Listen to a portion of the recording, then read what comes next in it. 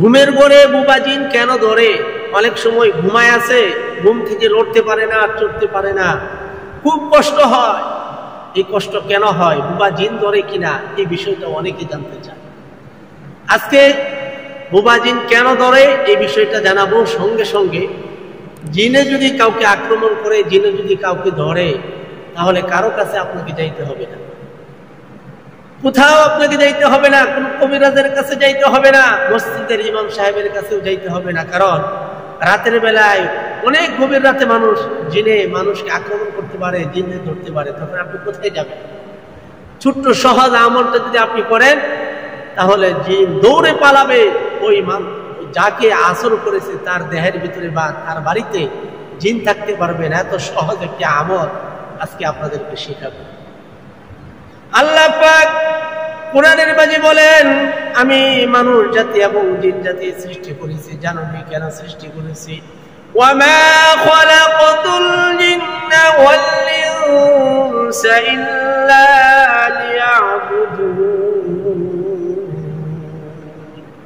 আল্লাহ বলে বান্দা আমি জিন জাতি এবং মানুষ জাতি একমাত্র আমি মহান রবের গোলামি করার জন্য, আমি মহান রবের ইবাদত করার জন্য সৃষ্টি করেছি।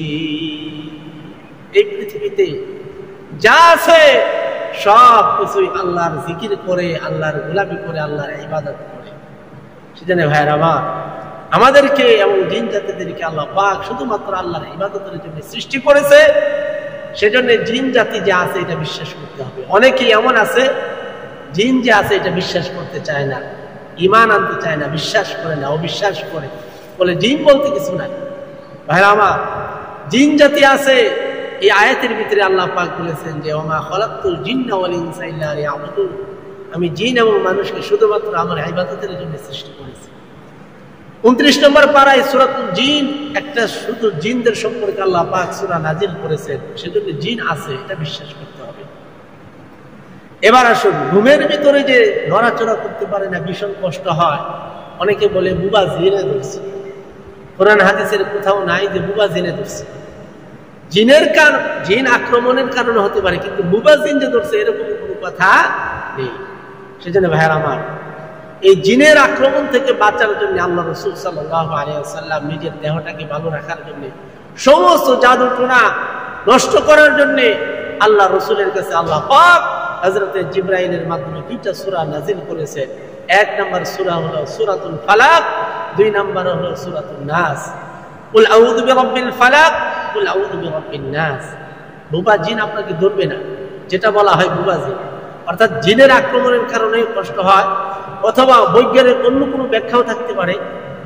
কিন্তু এই কষ্টটা আপনার ঘুমের মাঝে, জিনের কারণে হোক, অন্য কারণে হোক, কোনো কারণেই আপনার ঘুমের ভিতরে আর কষ্ট হবে না যদি রসুলের বাতলানো এই আমলটি যদি আমরা করতে পারি। আল্লাহ রসুল সাল্লামকে জাদু করা হয়েছিল একজন কাফের আল্লাহ রসুলকে জাদু করেছিল। একজন কাফের আল্লাহ রসুলকে যখন জাদু করলেন আল্লাহ রসুল ভীষণ কষ্ট হয় আম্মাজান আয়সা বলেন আল্লাহ রসুল এই জাদু করার কারণে যে কাজটা করছে সেই কাজটি করেনি বলে এমন মনে করতেন আবার যেটা করছেন সেটা করেনি বলে এরকম মনে হতো আল্লাহ রসুল সাল্লাম এত কষ্টে ছিলেন আল্লাহ পাক দুইজন ফেরেস্তার মাধ্যমে সব কিছু জানাই দিলেন এবং জিব্রাইলের মাধ্যমে দুইটা সুরা সুরা ফালাক সুরা নাস এই দুইটা সুরার ভিতরে এগারোটা আয়াতি কারিমা রয়েছে আল্লাহ রসুল পড়তে শুরু করলেন কলহু قل أعوذ برب الفلق من شر ما খলাক। এই পুরা সুরাটা পড়লেন কুল আউযু বিরাব্বিন নাস, মালিকিন নাস এই পুরা সুরাটা পড়লেন 11টি আয়াতে কারিমা তেলাওয়াত করলেন আল্লাহর রাসূলের জাদু টোনা নষ্ট হয়ে গেল। এগারোটা গিটের মাধ্যমে আল্লাহর রসুলকে জাদু করা হয়েছিল। এগারোটা আয়াতি কারিমা, অর্থাৎ দুইটা সুরা সম্পূর্ণ তেলাওয়াত করলেন। আল্লাহর রসুল সম্পূর্ণ অসুস্থ হয়ে গেল। সেজন্যে আল্লাহ রসুল সাল্লাহ আলিয়া সাল্লাম প্রতি রাত্রিতে ঘুমাতে যাওয়ার আগে এই সুরা ইখলাস তিনবার পড়তেন, সুরা ফারাক পড়তেন, সুরা নাচ পড়তেন, আয়াতুল কুরসি পড়তেন। অর্থাৎ আপনি যতটুকু কোরআন থেকে যে কয়টা সুরা পারেন, আপনি এগুলো তেলাওয়াত করেন। অজু সহ ডান কাতে, রসুলের শূন্য অনুযায়ী ডান কাতে এই গালের নিচে হাতটা রেখে আপনি ঘুমা, ঘুমান। ঘুমের ঘরে আপনাকে কোনো জিনে আক্রমণ করতে পারবে না। আপনার কোনো সমস্যাই হবে না।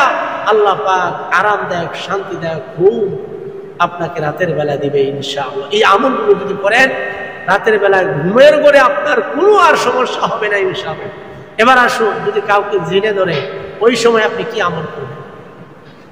ছোট্ট একটা আমল দিচ্ছে আপনাদেরকে বলে। সহজ আমল, অত্যন্ত সহজ আমল, আপনারা সবাই পারেন।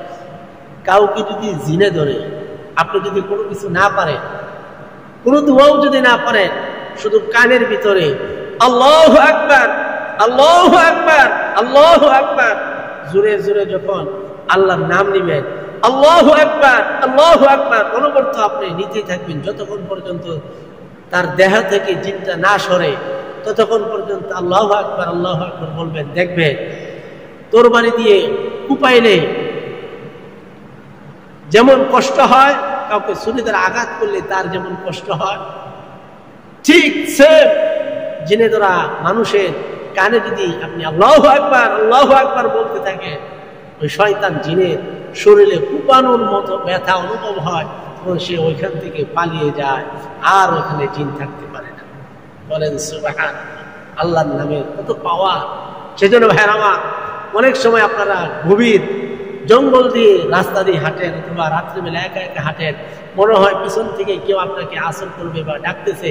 এমন ভয়ের সময় অথবা বাজারের নিচে, তেঁতুল গাছের নিচে দিয়ে যখন যান, রাতের বেলায় ভয়ে আপনার শরীরে থরথর করে শরীর লোমগুলো দাঁড়িয়ে যায়। আপনি কোরআন থেকে তেলাওয়াত করবেন বা অন্য কোনো আয়াত করবেন আপনার মুখ দিয়ে ভয়ের জন্য আসে না। এমন অনেক সময় হয়।